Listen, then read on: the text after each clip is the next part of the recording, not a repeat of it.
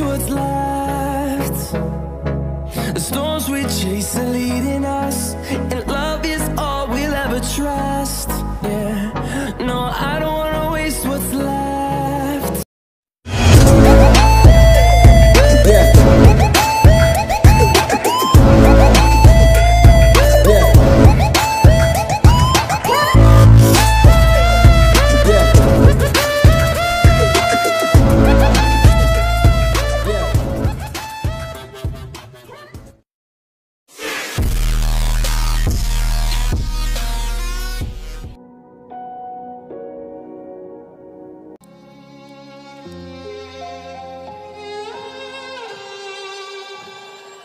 Say I'm good hearted, but I'm just getting started. My on the target.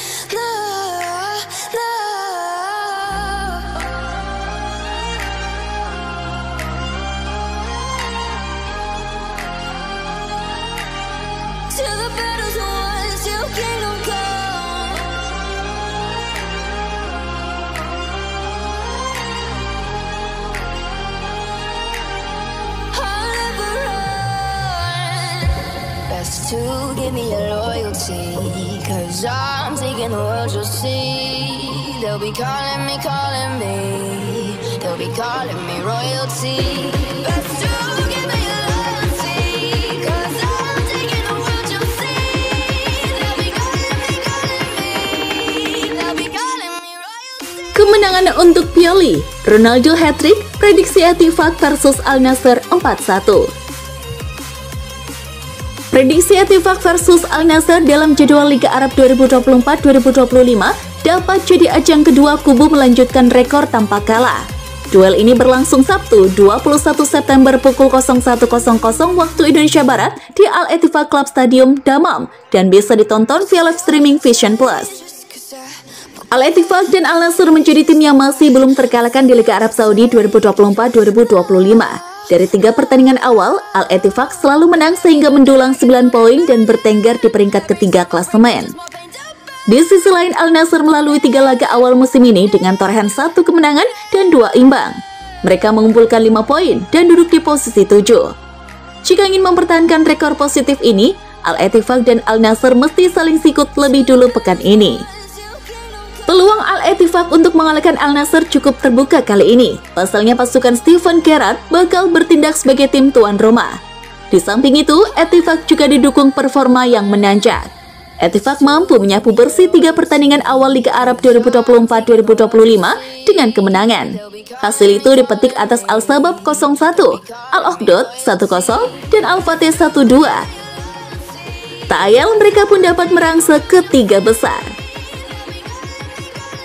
Etifak hanya dibayangi oleh rekor head-to-head mereka yang kurang bagus di hadapan Al Nassr.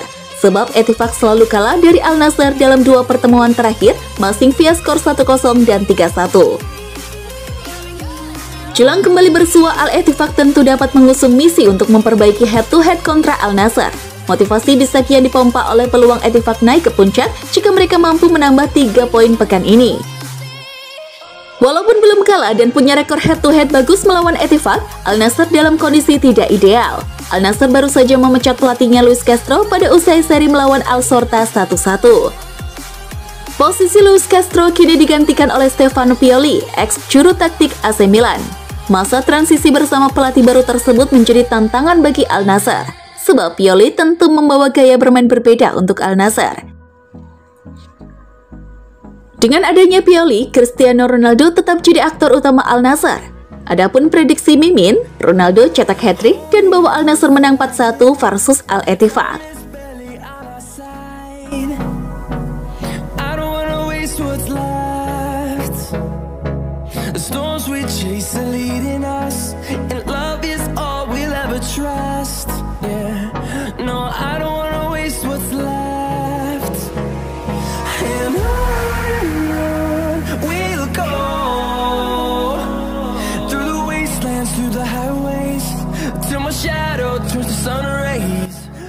Al Nassr kecam YouTuber yang melakukan selebrasi Lionel Messi di depan loker Cristiano Ronaldo.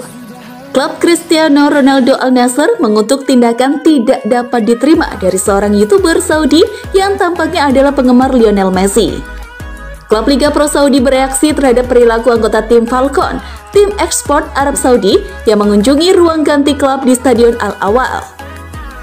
YouTuber Abu Omar menimbulkan kemarahan di klub tersebut dengan mengambil foto dirinya di depan loker Ronaldo sambil menirukan selebrasi Messi di Piala Dunia. Pernyataan dari klub Liga Pro Saudi berbunyi, Al Nassr selalu menyambut baik para pengunjungnya, termasuk penggemar dan amatir. Namun apa yang terjadi di ruang ganti tim kemarin tidak dapat diterima oleh sebagian orang. Kami jelaskan bahwa sebagai klub, kami telah menginstruksikan departemen internal terkait untuk segera menangani masalah ini demi menjaga hak moral dan material klub. Setiap penggemar yang datang kepada kami berjanji untuk menghormati dan menghargai. Selain gambar yang dimaksud, anggota tim Falcon merekam video mereka bermain dengan papan taktik di ruang ganti. Kami ingin menekankan bahwa pintu klub dan semua fasilitasnya tetap terbuka untuk setiap penggemar, asalkan mereka menjunjung tinggi rasa hormat dan penghargaan terhadap klub Al Nassr yang hebat. Lanjut pernyataan itu. Reaksi yang muncul sejak saat itu beragam. Sebagian penggemar memihak klub dengan tuduhan tidak hormat, sementara sebagian lainnya melihat humor dalam aksi tersebut. Hal ini terjadi hanya seminggu setelah Ronaldo menirukan omelan terkenal Messi di Piala Dunia yang ditujukan kepada Wout Weghorst selama wawancara pasca pertandingan. Messi menjadi berita utama dengan selebrasinya dalam kemenangan perempat final Piala Dunia 2022 yang menegangkan atas Belanda. Kapten Argentina itu berdiri di depan bangku cadangan Belanda, lalu menutup telinganya dalam sebuah tindakan yang membuat kesal tim pelatih Belanda. Awalnya hal itu dianggap sebagai tindakan provokatif dari Messi, tetapi kemudian terungkap bahwa gerakan itu ditujukan kepada bos Luis van Gaal karena hampir menghancurkan karir idola Messi, Juan Roman Riquelme, selama ia berada di Barcelona di bawah pelatih asal Belanda itu.